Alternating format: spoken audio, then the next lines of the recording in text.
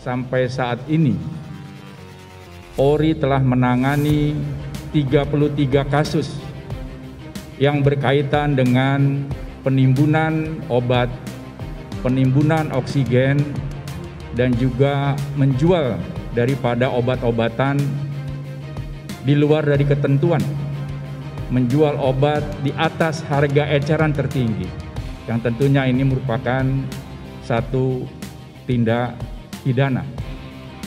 Dari 33 kasus yang ditangani di seluruh Indonesia,